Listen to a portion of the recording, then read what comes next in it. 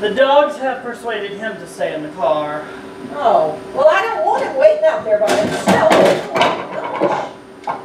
I told you I was nervous. Trust me, this won't take long. Okay, well, here you go. Are you sure you wouldn't like a little something extra to go with your water?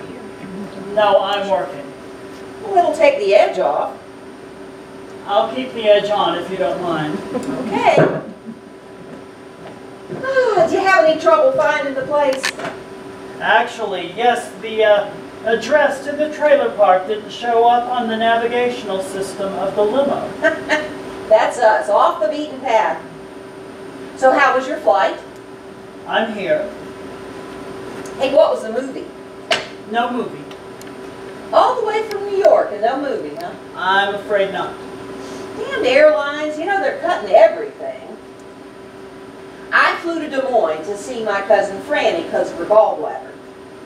They charged me for a pillow. Can you believe that? A freaking pillow. I mean, next you know, they'll be running your credit card every time you go to the toilet. Don't get me started.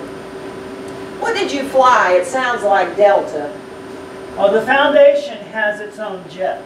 Oh, Shall we get down to business? yeah, okay. The foundation has assigned me as the consulting expert on your case. I am, of course, Lionel Percy. Maude Gutman. You know who I am. Oh, yeah. I hit the freaking jackpot.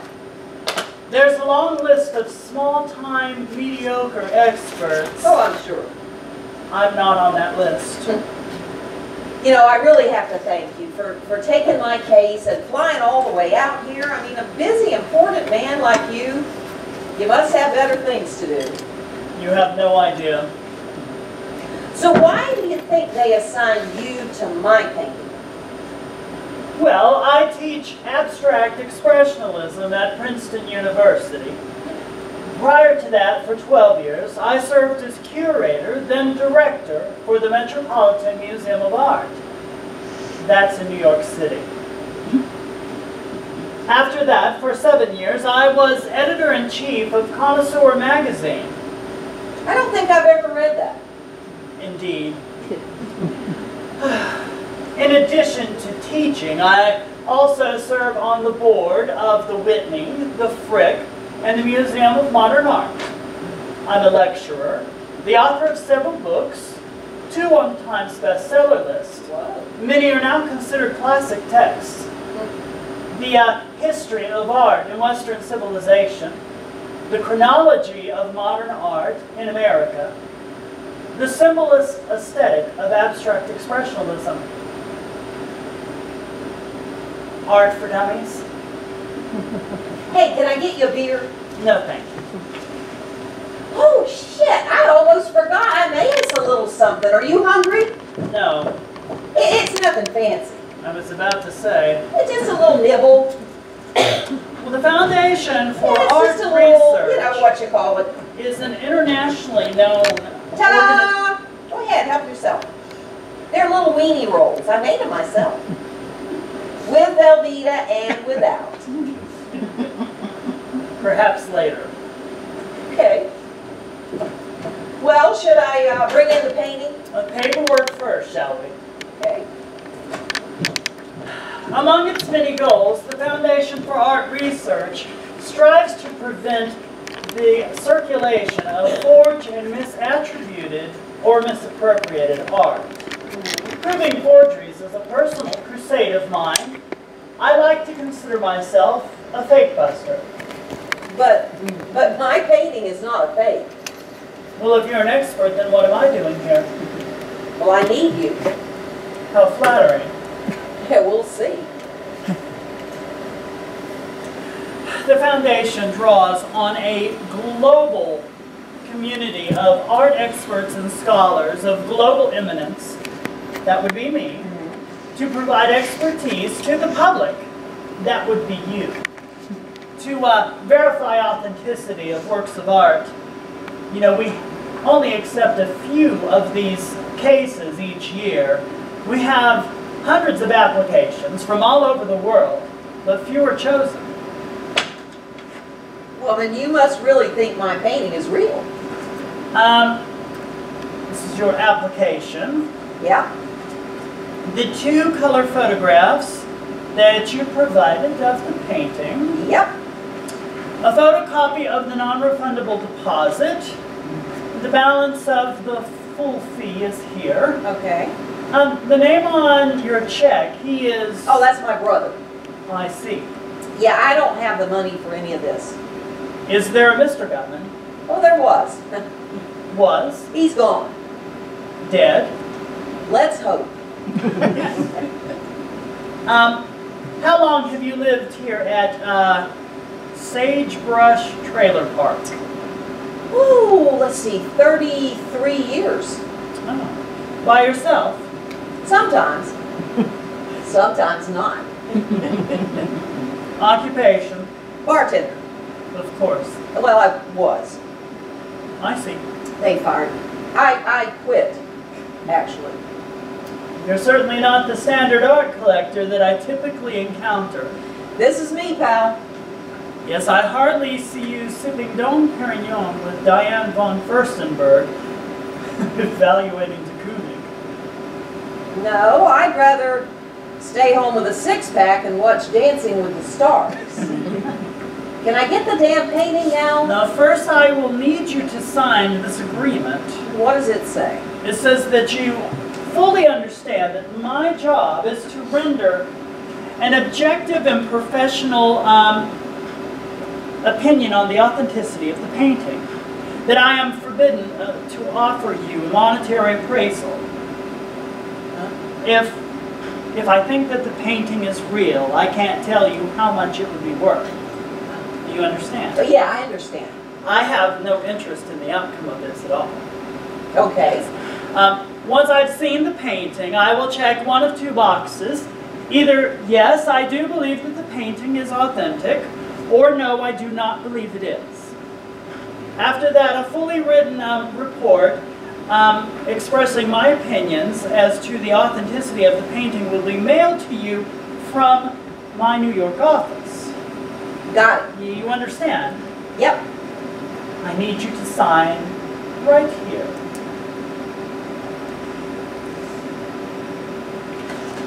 So tell me, how much do you think my painting could be worth? Didn't you hear a single word I just said? I heard. I am forbidden. I know. The foundation. I'm not asking this painting. Good. I'm asking a painting like it. No. Just in theory. I can't. Before you even see it. Mrs. Gutman. How much? Mrs. Gutman. Call me Marge. Marge. I will not call you Maude. Oh, come on, how much? I don't know any other way to put this. Okay, okay, okay. I'm not asking about this painting. A painting like this, okay? What if? Conversation. Come on, please, be a person. Let me be clear. I am not saying this painting. Not this painting, No. but in theory, Yes. a painting like it. Yes. Well, if it is authentic, I'm saying if. The market value could be anywhere from 50 to 100 million dollars.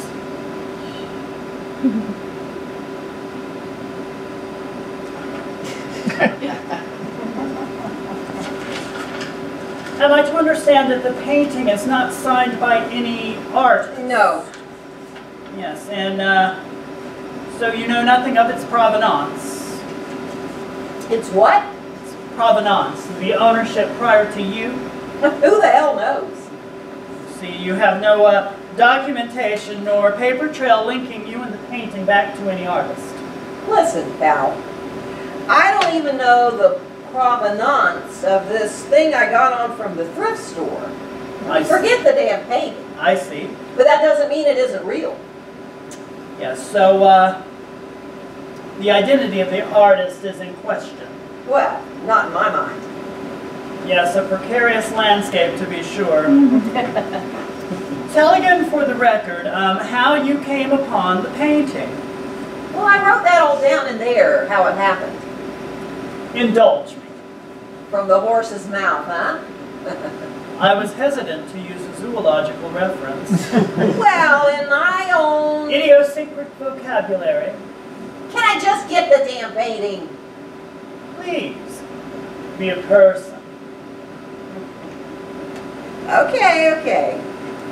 But hold on to your hat, because this is unfreaking believable. Okay? I am, uh, I'm a scavenger, okay? A pack rat. I'm always in thrift stores and, and junk shops and Salvation Army. You know, picking up bargains, buying stuff that other people throw away.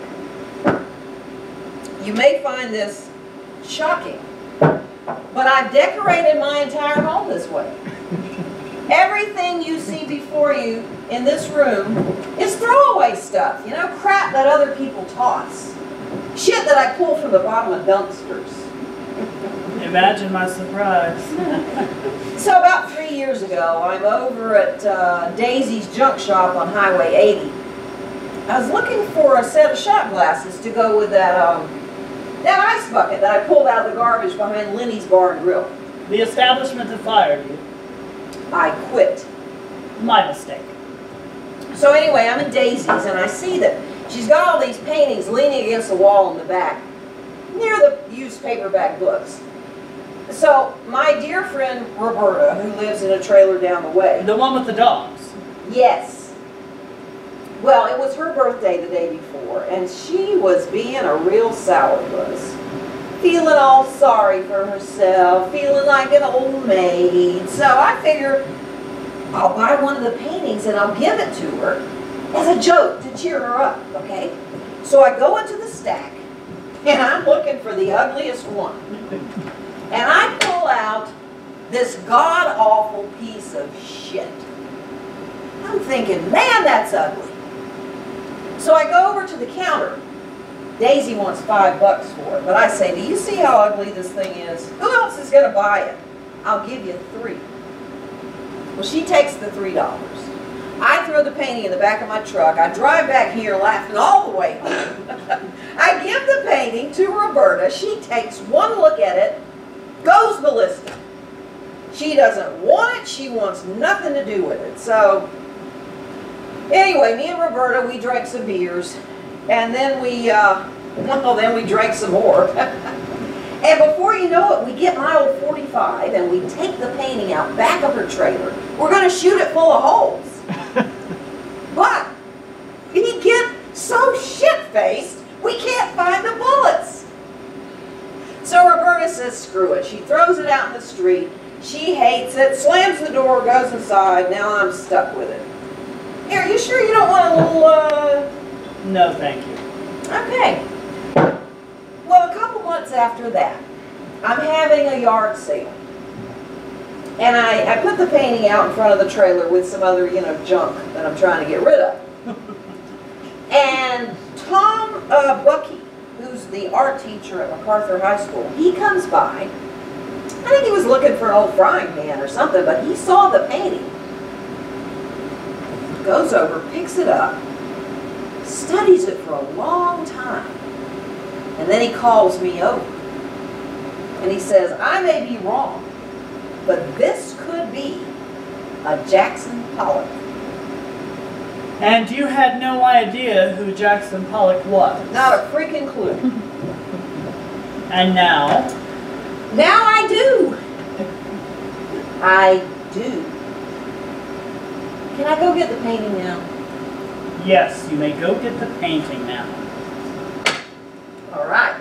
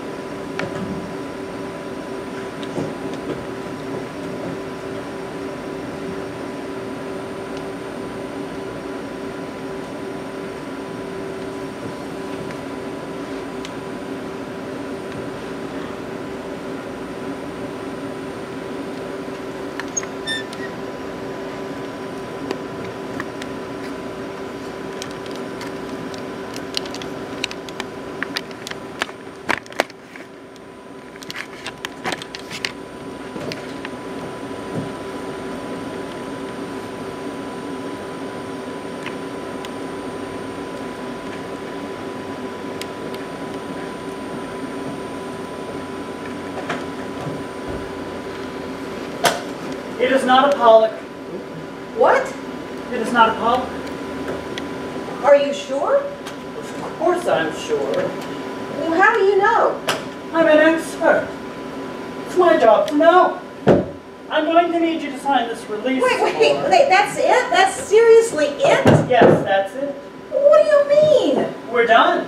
Wait, wait, wait. Is there a problem? Yeah. I mean, aren't you gonna do some tests? Tests. Yeah, some some scientific tests. I don't need any tests. Well, how can you tell just by looking at it? I always trust my blinks. Your what? My blink. What the hell is that? Blink. The blink of an eye. Rapid cognition. it's how the painting hits me, the first impression. I knew it the first two seconds. Two seconds, huh? Yes. Let me put it to you this way.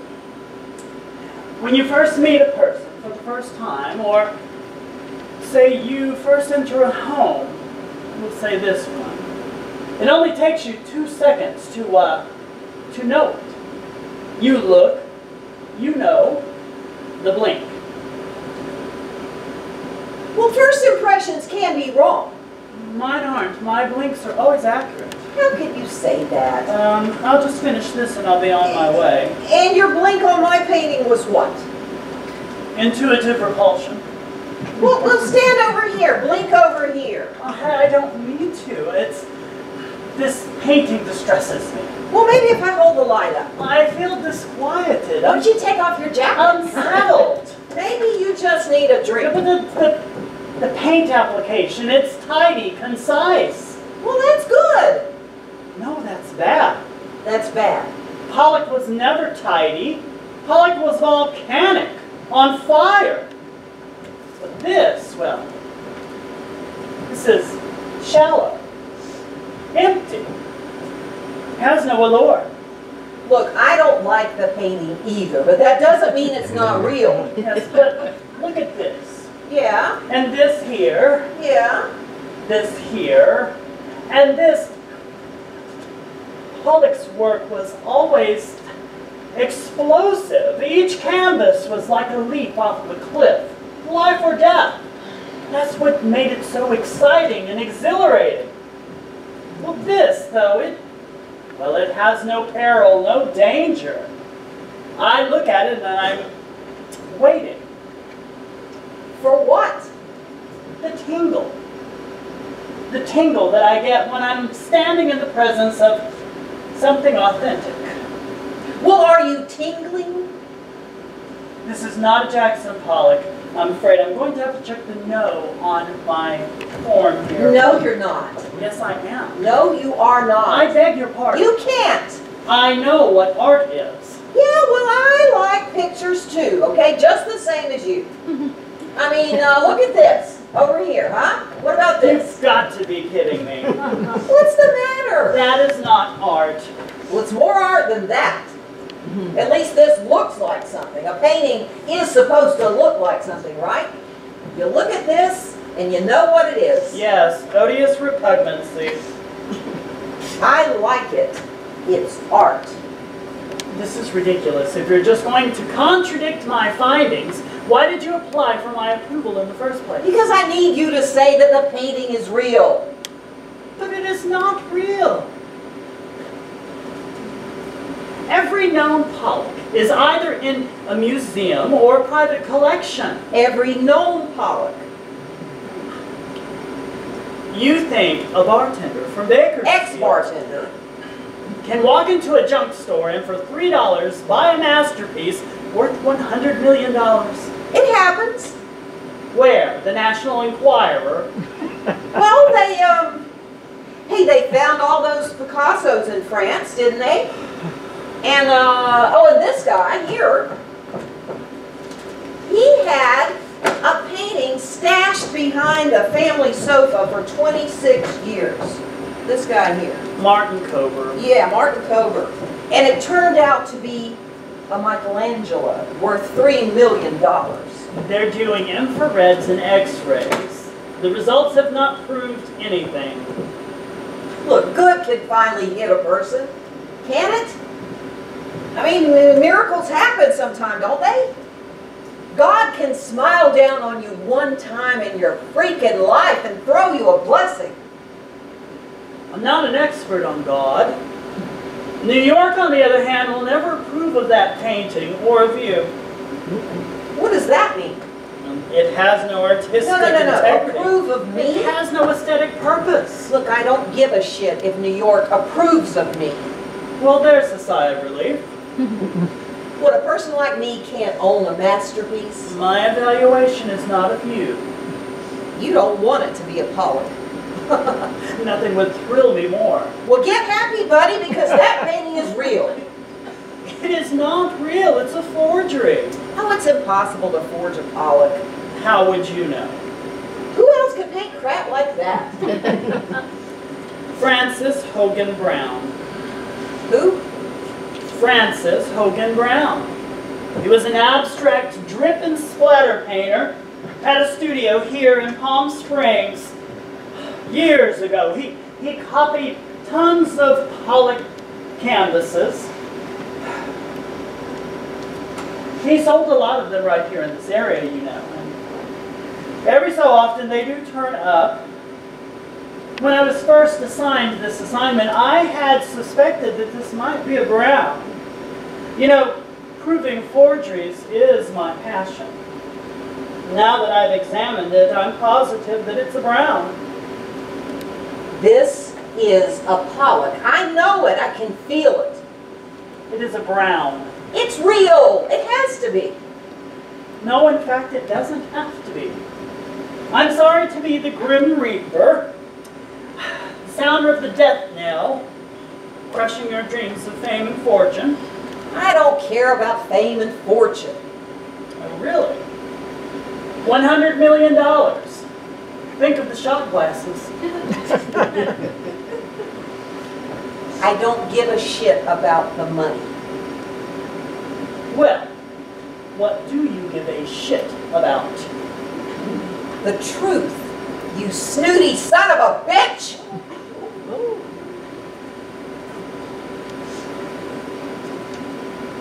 I see. Well, first off, you're going to have to learn to accept it. You'll excuse me, I'll take my pen and I'll finish this paperwork on the way to the airport. Have a nice day. Well, what if you're wrong? What? What if you're wrong? What would happen? Happen.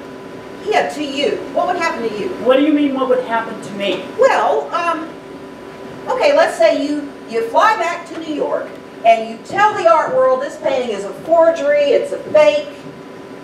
Turns out to be real. The find of a century. You know, what would happen? I don't see your point. To you, what would happen to you? Nothing would happen to me. Well, maybe I need to get another expert. Be my guest, go right ahead. I will.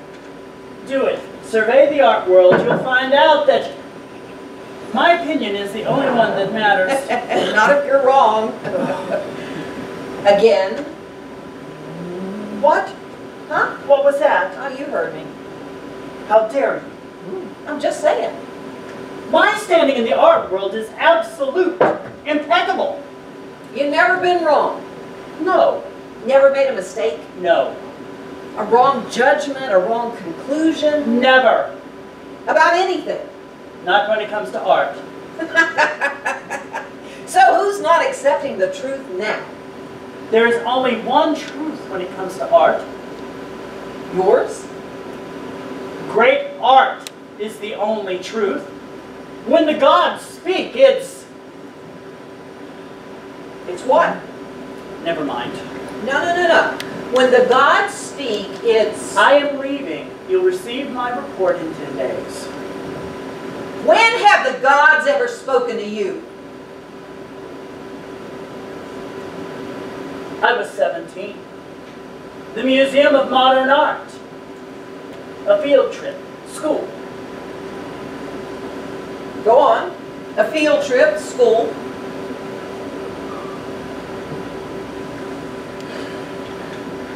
I got off the bus, walked in, up the stairs, turned the corner, and, and there it was. What? Picasso's Demoiselles d'Avignon. It's this big, huge painting. The canvas attacked like some kind of primitive and savage blue, beige, and, and brown monstrosity. it was terrifying. I had no idea what I was seeing. That's ugly, I said to my friend. Then my teacher, Miss Pritchard, she put her hand on my shoulder, my left shoulder, right here. And she said to me, Lionel, nothing in the entire history of art is like it. It's the single most influential work of art ever created. She was right. Until Pollock. Pollock stretched cubism and surrealism beyond recognition. Picasso was suddenly a painter of the past. Pollock was modern art. He split the art world, no, the art universe, wide open. The splitting of an atom, the flash of a nuclear blast. Now I am become death, the destroyer of worlds. He reconfigured the molecular structure of art. You look at his paintings and they rewire your retinas. Movement made infinite. No beginning or end. Each painting just is. Every great artist paints what he is. Pollock did not paint from nature. No, Pollock said, I am nature, primitive and savage. Pollock said, I enter each painting as I paint it. He would lay the canvas across the floor like a lover, lean over it, straddle it, tease it, talk to it, mutter to it like a madman, whisper to it in dialogue with the painting, coaxing it, caressing it, tickling it, teasing it, and then enter it. Swirling lines, lines swirling and spattering and circling the canvas in a trance like a shaman. He drooled and dripped his unconscious. A panther on the prowl, the matador stalking the bull, knowing when to strike, and then the assault. Violent and explosive, burst of brush, lariats of color, flinging paint like throwing dice, knowing how the paint would land. A swirling lines, a frenzy of, of lines that curve, that dance, that explode. Lines in teal and raspberry, yellow and arabesque of amethyst. No brush ever touching the canvas, no, his, his body was the brush. Bending paint to fall at his will, making art in the air. He drooled it, he spattered it, bleeding on the canvas, ejaculating, coming on canvas.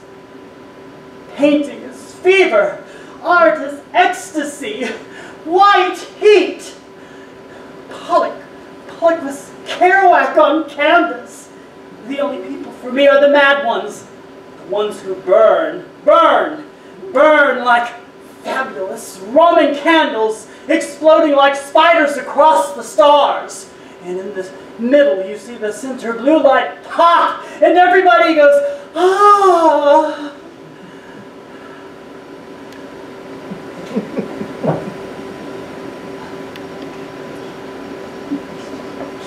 I beg your pardon.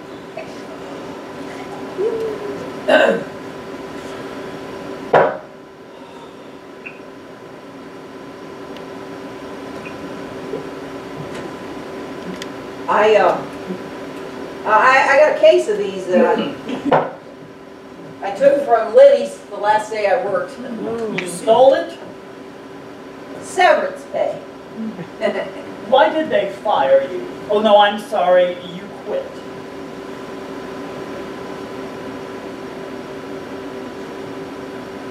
I was fired. Why? Because I tried to kill myself.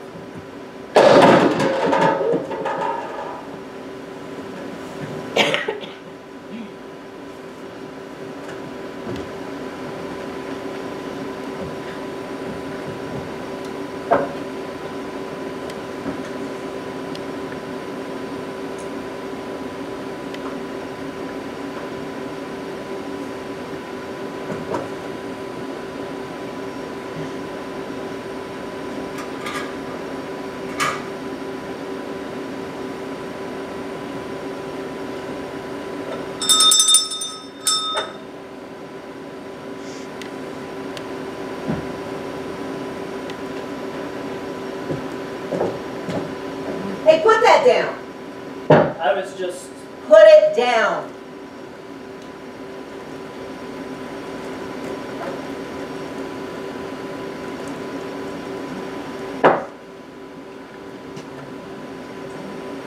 You know, I was in here one day, just me and the painting. I was making myself a rum and coke, and the painting was right where it is now, like an old friend. And I was talking to it, like I do sometimes when I'm alone. And all of a sudden, the wind picks up outside, gentle, you know, and those old beer bottle wind chimes, they started to rattle and come to life. And the sun ducked behind the cloud for a minute. The sunlight in here began to shift and move. And the light from outside fell on the painting just a certain way, you know, and for a moment, for a moment it seemed almost nice. You know, kind of, kind of beautiful and alive. They say that in some of his drip paintings that Pollock actually urinated on them, peed on them while he was painting. That bitch was crazy. He drank too much. Well, he was angry and in pain, you know? Well, he had his demons. Don't we all?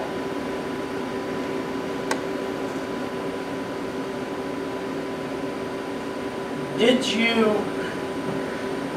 really try to kill yourself? When a woman that Pollock was in love with suddenly died, he took a knife and he slashed up all of the paintings that he was working on at the time. A, a kind of suicide. Grabbed the shreds of canvas and just threw them out the window. The human heart can be a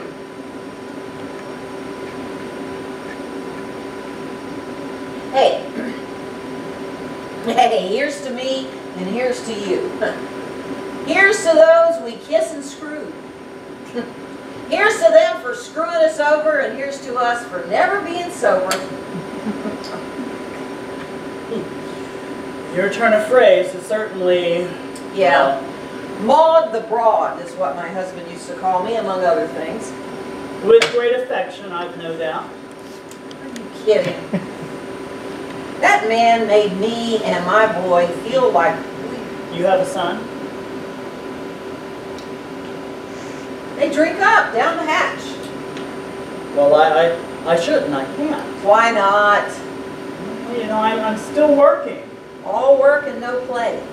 It, it's, it's against the rules of professional conduct. Oh, rules schmools. I don't follow the rules, I break them. Look at me. My point exactly. Look, do you think Jackson Pollock gave a shit about the rules? I'm not Jackson Pollock. Well, that's a fucking understatement. I, I'm sorry, man. You know, I, I just, I say things and shit comes out. My, uh, my social skills really need polishing.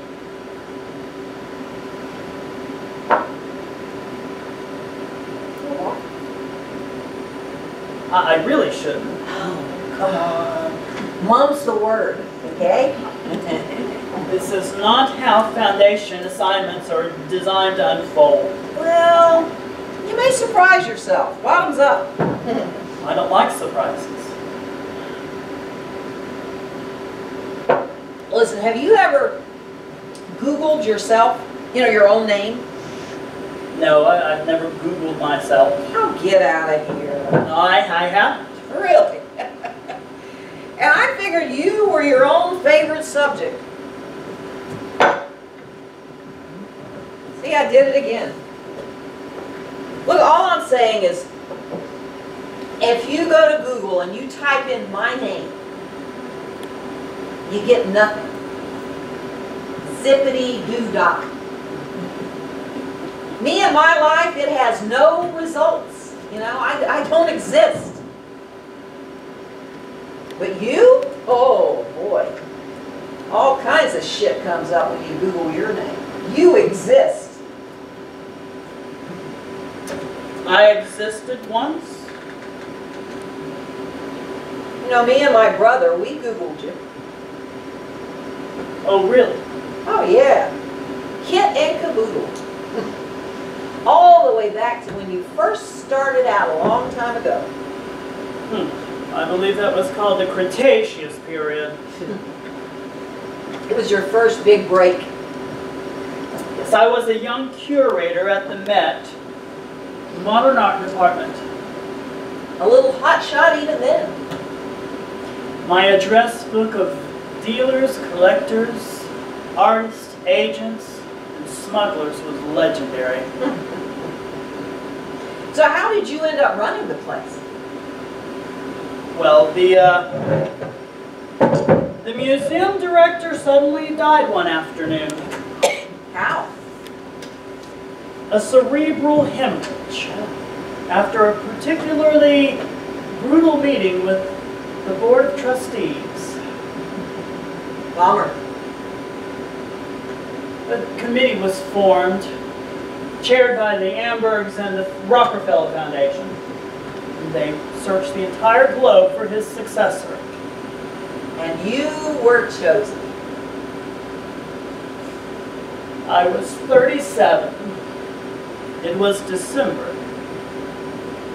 It was the best Christmas present I ever received.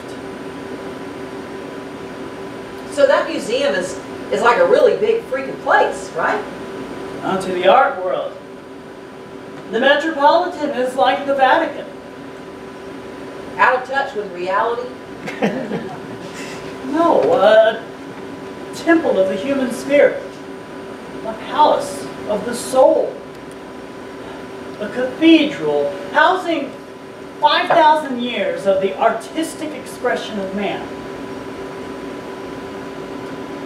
So if the museum is like the Vatican, then that made you, what, the Pope?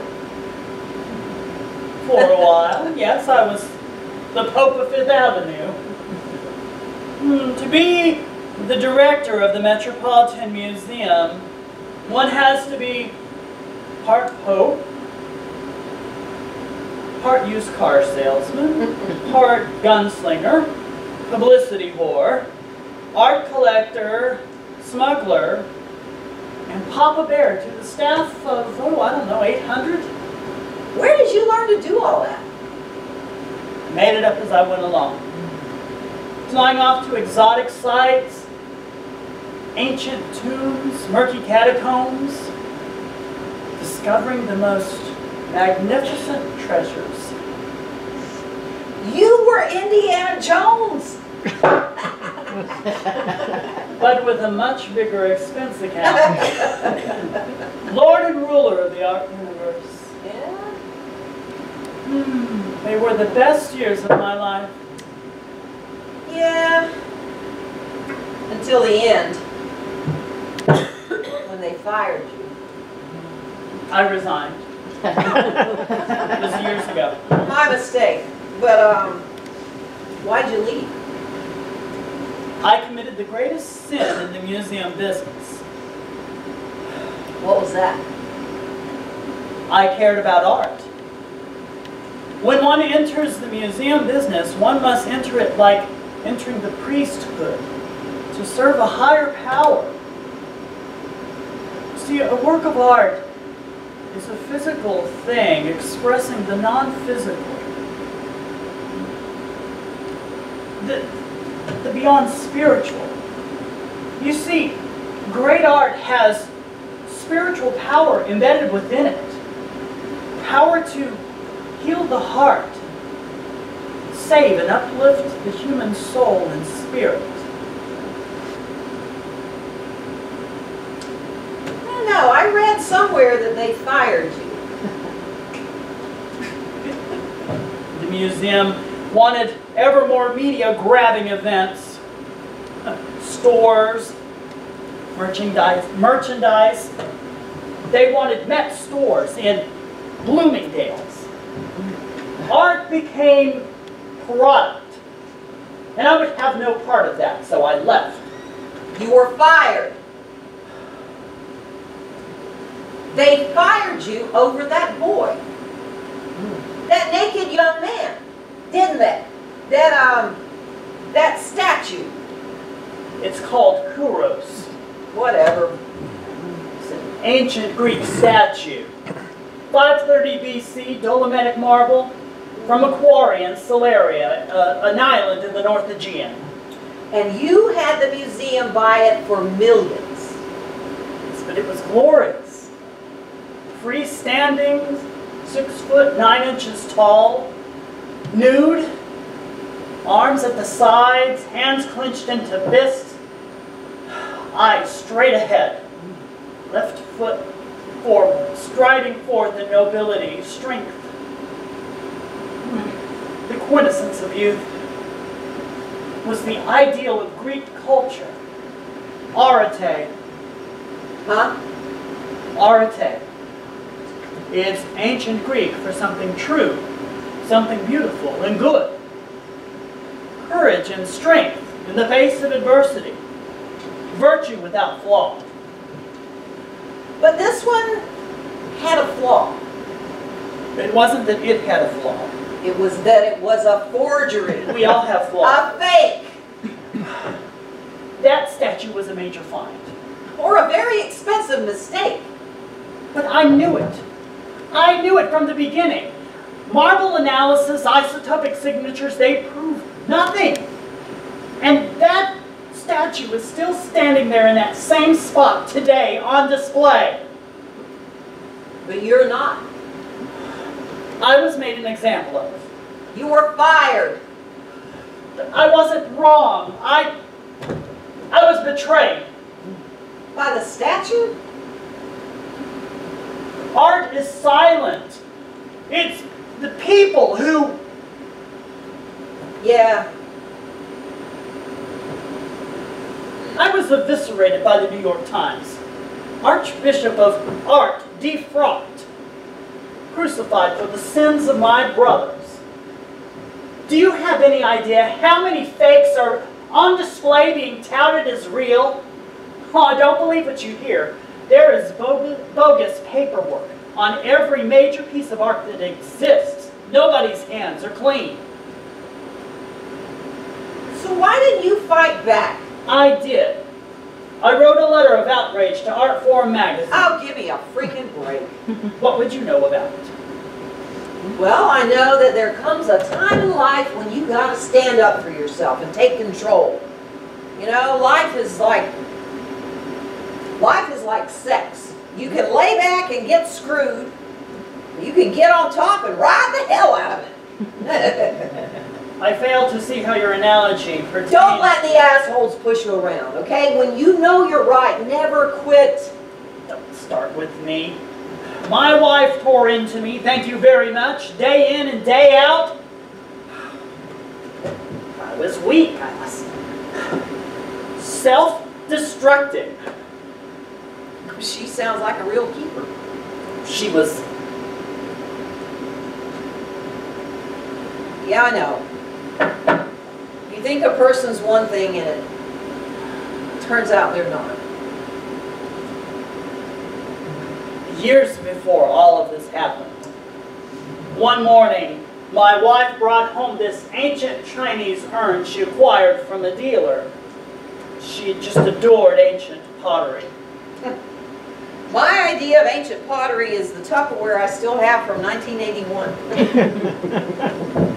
This, uh, this Chinese urn, it was 960 BC, unglazed stanniferous enamel. I knew it was a fake the moment that I saw it. Huh. The shape, the typography, it was all wrong. You know, I have a sixth sense about these things. So I told my wife to remove it. She said no. It didn't matter to her if it was real or not. Nobody would know the difference. She displayed it anyway, against my orders, in the center, the very center of our home. This thing, this object, on a white alabaster pedestal. It was a lie. I couldn't even go into the living room anymore. I, I had to find alternate ways to get into the kitchen. Every time I entered that living room, it was like taking a dagger and stag, stabbing it in my. So, um, so you and the wifey, are you still, uh, She was revealed to be less than what I had appraised her to be. ouch. Oftentimes, things that we think are superior turn out to be bogus. A real work of art lives, but a fake, it's dead.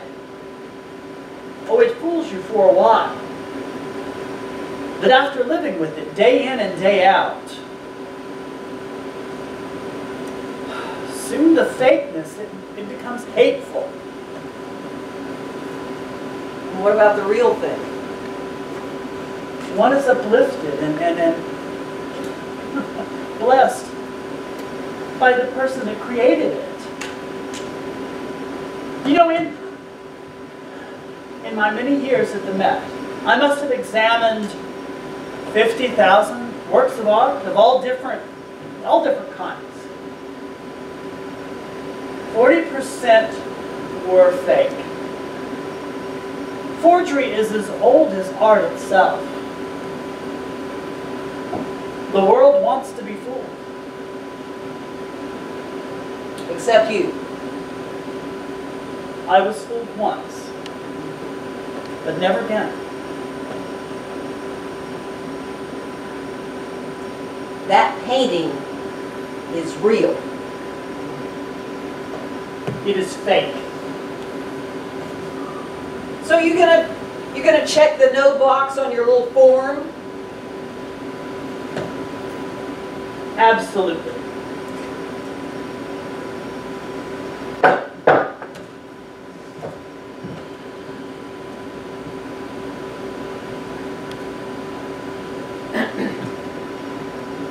Are you sure there isn't anything I could do to change your mind? I beg your pardon? Why don't you tell your driver to get lost and circle the block a few times? What are you suggesting? Well, I'm suggesting that maybe all you need is a little oh, convincing. My God, are you out of your mind? What's the matter? You're drunk! I better be drunk. you think I'd smoke your pole sober? You're the most cruel and vulgar woman that I've ever come in contact with. I need with. you to say that that painting is real. Never. Say it! I can't. I'd be lying. So lie. I have a higher moral standard than you do. Oh, bite me. Bite you. That painting is a major find. That painting is empty, worthless. Says the ex-museum director. I have expert intuition. Hey, your intuition is no better than mine. Ha! Really? What kind of intuition could you possibly have? Well, I get sudden flare-ups. We're not talking hot flashes. I get hunches and gut feelings too, you, asshole. Oh, lovely. You know, I can sense things, same as you. It's just common sense. As common being the operative word, I'm smarter than you think. so am I.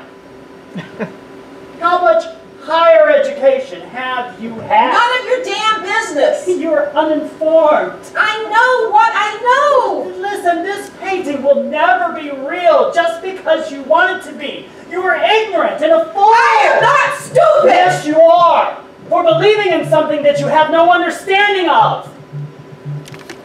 I'm done. You know, I was I was watching Law and Order with my friend Howard in Mrs. here about a year ago. Mrs. Gutman, we're finished. Howard is retired. He uh he used to be a detective in San Bernardino.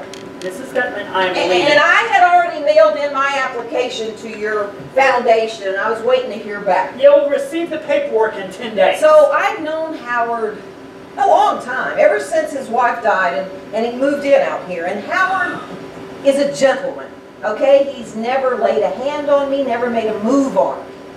All right? Imagine the self-restraint. So anyway, we watch Law and Order. And Howard can always figure out who did it by the second commercial. He, he's a genius. Mrs. Gutman, So anyway, Howard was over here about a year ago, and he and I were watching Law and Order, and I said to him, I gotta find a way to prove this painting is a Pollock. And he said, treat the painting like a homicide. Okay? So, he gets this magnifying glass and he walks over to the painting and I said, what the hell are you doing? He said, rule one in homicide, examine the body. So he goes like this, Mrs. Gutman, up and down. Mrs. Gutman, Uh, Mrs. Gutman, And down, it seemed like hours. you're telling me. Do you know what he found? I have no idea. Nothing. Not a damn thing. Mrs. Gutman, I'm done playing this game of charades with you. But then, he turned the painting around. Like this. And that's when he spotted that.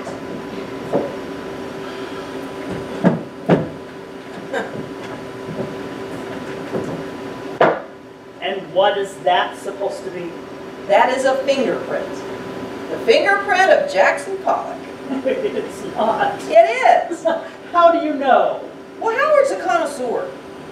An elderly beer-swilling twiddler from San Bernardino is hardly a fingerprint expert. Okay, so then he, Howard goes home and he comes back with all these um, weird scientific tools, okay? He brought a microscope, he brought a scalpel to take paint scrapings, he had tweezers and all kind of stuff.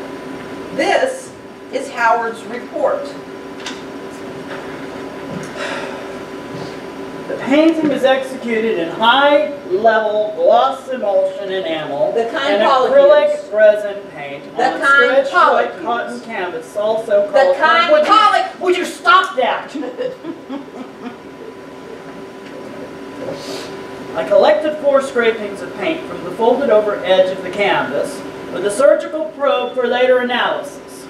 I collected six samples of hair and fiber embedded in the paint layer. The hair samples appeared to be human, dark brown in color. The fingerprint was discovered on the verso. that means the back. It was deposited with a fingertip that was coated in paint of various colors. Howard also brought a, a fancy camera. Uh, the, the print was photographed by a high-powered digital camera with a macro lens at a one-to-one reproduction ratio with a medical ring flash unit. This is Howard's photo of the fingerprint, It could be anybody's. but it's not. there is no record of Jackson Pollock's print. I know that. He was never arrested, so they've never taken any fingerprints. I'm sure there's a few times he probably should have been arrested. So then Howard and I went to my brother's house. And my brother showed me the website for the uh, Metropolitan Museum of Art. That's in New York City. and on the website, if you click on archives, they have all these high-res digital photos of famous paintings, you know, so, so art students can study them. It's very fascinating. You can zoom in really, really close and see each tiny brush stroke, you know, each micro dot of paint from the website. It's Lavender Mist. Pollock's painting. It's famous, right? Yes. He actually got down on his hands and knees when he painted it, put his hands right in the paint. Well, on the website, if you zoom in on this painting, super duper close, right about there, you will see this. Okay? Come this way, you'll learn something. So we have the fingerprint from my painting, the fingerprint from Lavender Mist. Wait for it. That. Huh? Look at that. Go ahead, go ahead, go ahead. Twelve characteristics of the two fingerprints appear identical. Yeah. Twelve bifurcations, three small islands, and two ridge endings. The correspondence of 12 characteristics is confirmation that Pollock's fingerprint on lavender mist was left by the same finger as the fingerprint on the painting. They are one and the same.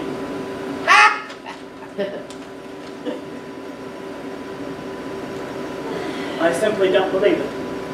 What do you mean? I don't believe it.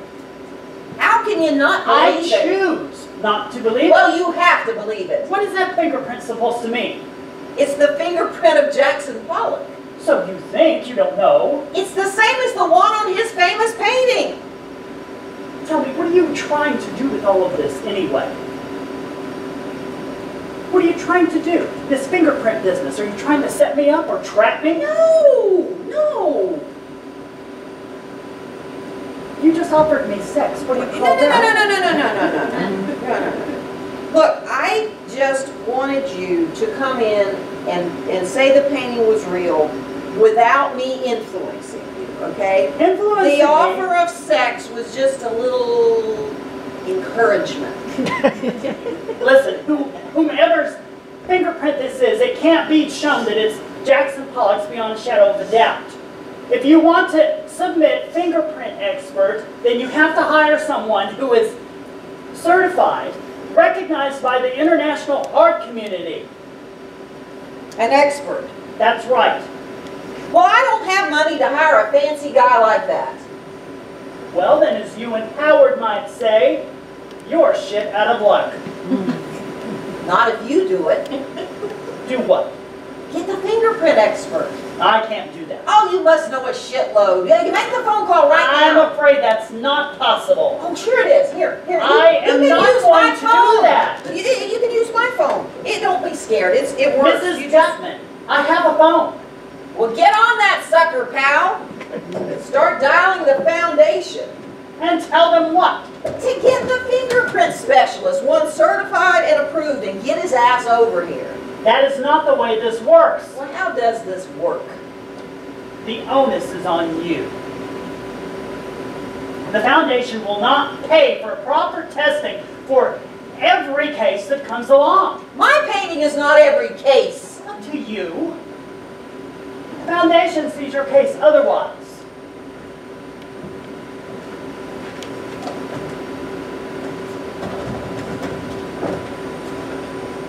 Or to be more accurate, they will never see it at all. Don't you want to know the truth? I already know it. Well, prove it. Make the call. Get the experts. I will not further involve the foundation. Look, if it's a fake, case closed. What have you got to lose?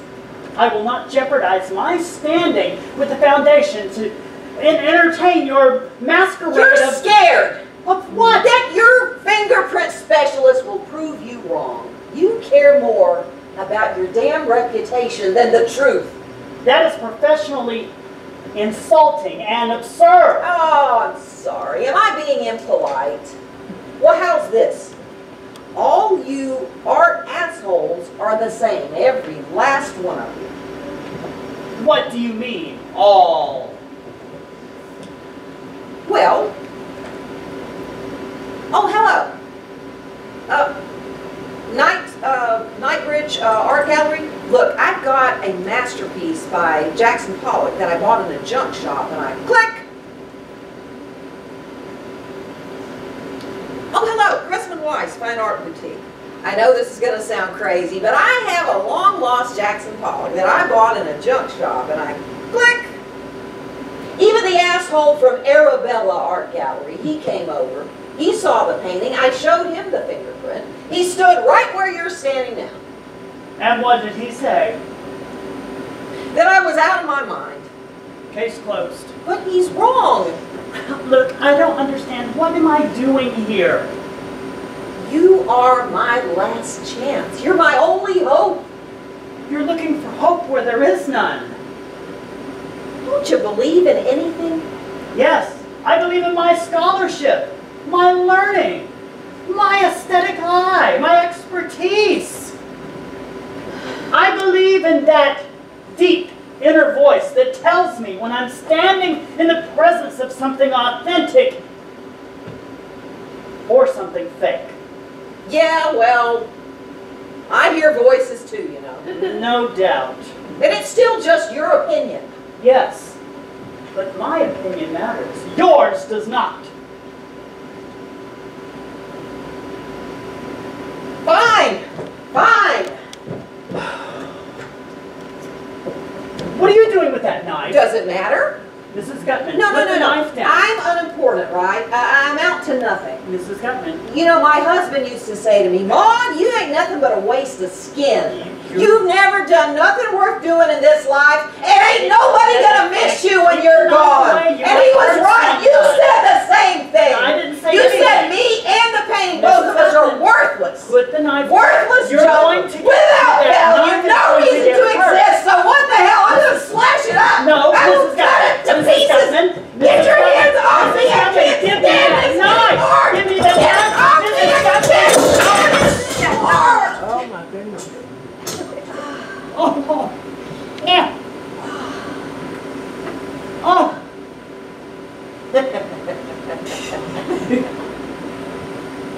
You do think it's Oh. real, don't you? I think I'm having a heart attack. God. I'm too old for all of this. I have a bad back. Oh. You see something white and round rolling around the floor, it's probably my vertebrae. Ah. You're insane, you know that? An insane, crazy woman. Yeah, well, put Pollock in a crazy asylum, why not me?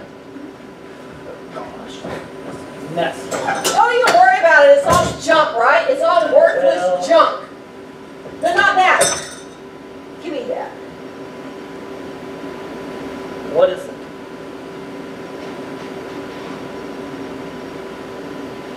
That's my boy Eddie. Isn't he handsome? Yes. I know all mothers think their sons are handsome. How old is he in that picture? Uh, 19? How old is he now? Do you have any? No. My wife and I decided, well, she wanted them, but I was hesitant. Why? Well,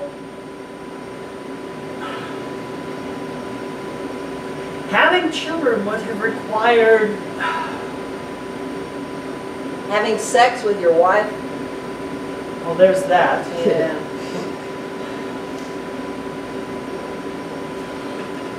My parents,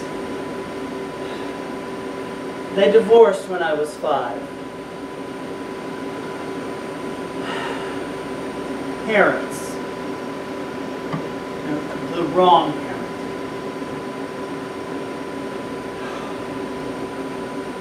The wrong parent can destroy a boy's belief in himself. I know. You know, nothing was easy for my Eddie. Not even when he was a little kid. Reading, writing. Everyday life was a struggle for him. My boy was born with too big an engine inside him, you know, too, too big a heart for this world. He was such a sensitive boy. When I would go to the market or, or be gone someplace, and when I came back, he would always run up to me, Mommy, Mommy, did you miss me? He always looked up to me, you know, he wanted my approval. We had this thing when he was a boy. Me and my Eddie.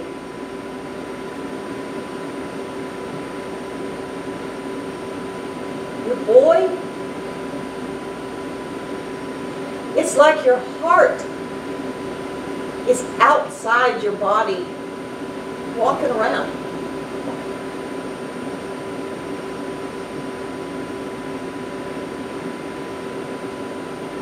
Father.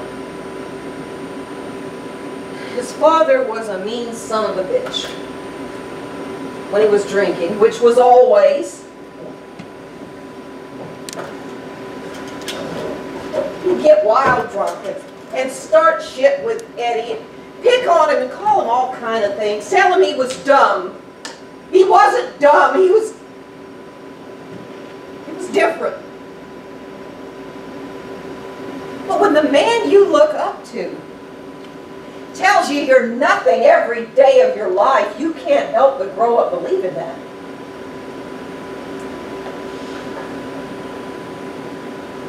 I know. I know.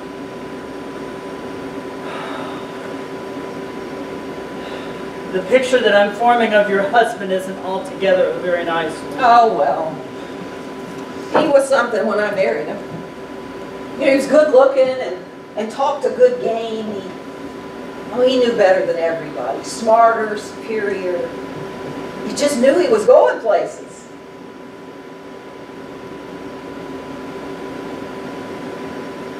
Turned out the only place he went was the corner bar and that couch. He'd sit there every day getting drunk, watching the hunting channel.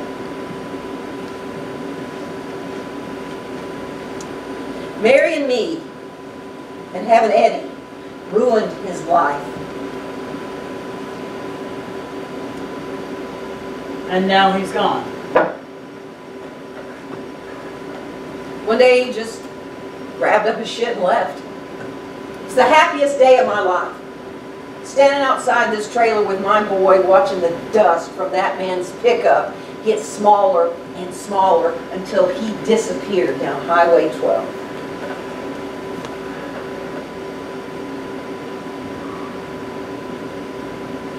The damage was done. Eddie was 22 hurt, angry, drunk most of the time. Beer in the morning and bourbon at night. He was a wild one, always wrestling with, with himself.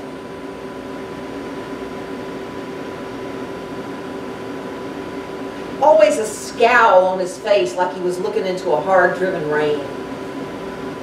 He'd just sit here day after day and not say nothing to nobody. Not even to me.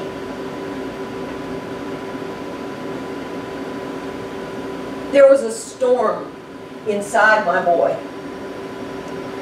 A storm like that. Like that there. My Eddie somewhere in there. And then one day he He drank a six pack of Coors and he stumbled out the door and got into his black Mustang and revved up the engine and took off. Gone. They found his body twisted up in the wreckage. His neck was broken. The car crumpled up on the side of the highway like a empty pack of cigarettes. And everything just goes black. You can't see nothing. It's like falling in a black hole. Down, down, down, gone. And you can't get out.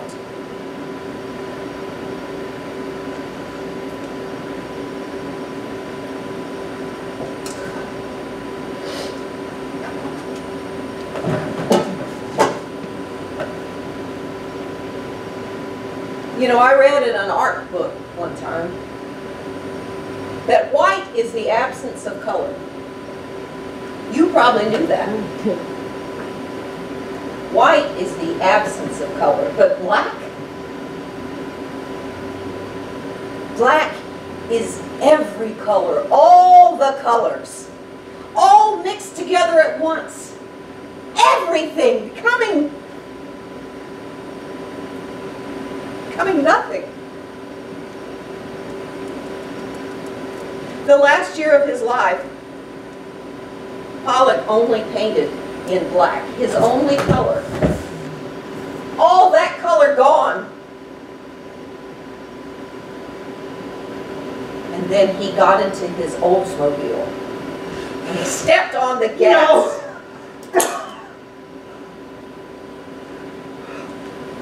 Oh my God! You know, me and Roberta never did find the bullets to this thing. Oh my God, you knew there were no bullets in there! There will be one day. Oh, oh, oh my God! You, you did this on purpose. Scared you, didn't I? My first impression of you was totally wrong. I misjudged you completely. You see? You blink and you miss me. Tell me now what my painting is worth. You know that I can't give you a monetary appraisal.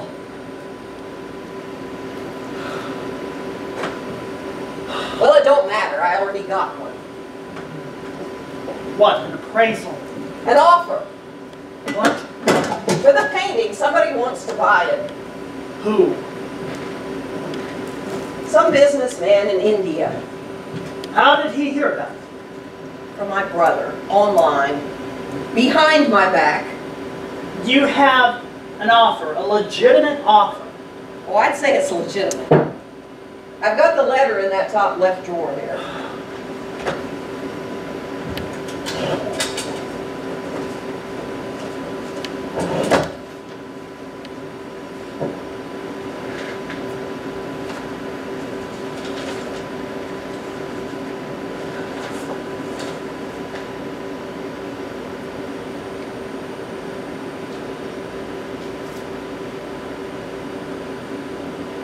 Two million dollars. No questions asked. He's not requiring any paperwork, Nope. no authenticity of any sort. No, he'll just buy it. Cash, done, boom. That's the offer. Oh my God, this this is Well, incredible. that's the offer. And, and what did you say to him? I haven't. Why not? My God, this is two million dollars. But it's worth so much more. But Mrs. Gutman, Look, Jackson Pollock never settled, no matter what, not even when he was broke. And neither will I. but Mrs. Gutman, this is two million dollars. You could buy. This is not about the money. But it you- never was. You can buy a house, move somewhere nice. Why are you putting yourself through all this? I have no choice. I never did. One day my boy is gone. And then one afternoon this thing shows up. I didn't find the painting. The painting found me. And the world needs to know its true worth and its true value. I've seen this through to the end, okay? I can't explain why. Some things you can't put in words. I'm not an expert, but isn't that what art is supposed to do? Yes. Yes, it is. Mrs. Gutman, you realize that you can't fight this forever. Your window of opportunity will soon close. That's why I need you. Please, I am begging you. I need your blessing. Blessing from the Pope. Give the painting your blessing and say that it's real.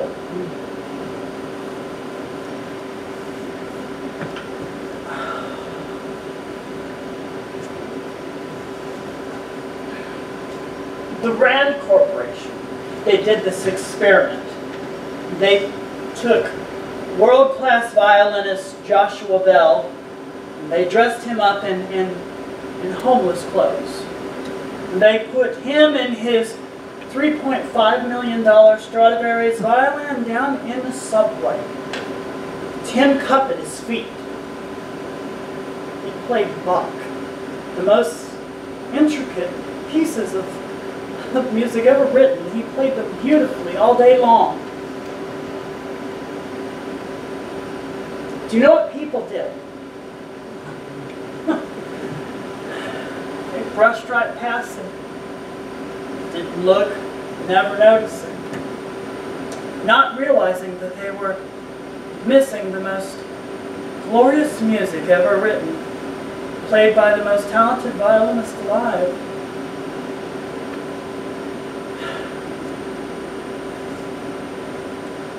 People, people don't know anything. Not even you?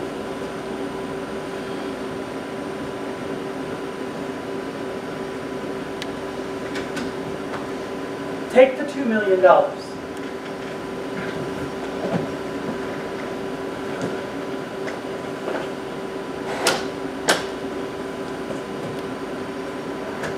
Are are you gonna mark your form now? Yes, I am. Well, well, what's it gonna be? Yes or no?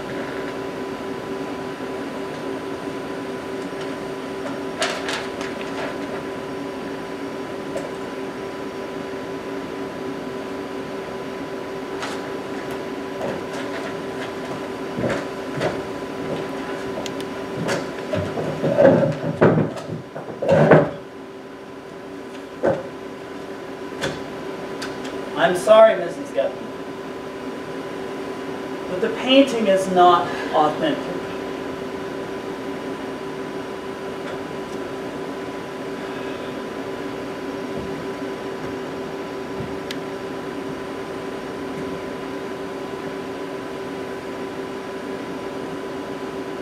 But you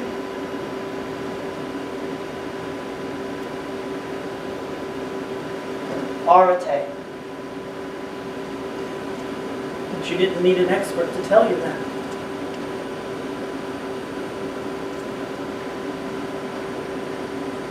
Just get out. Get out!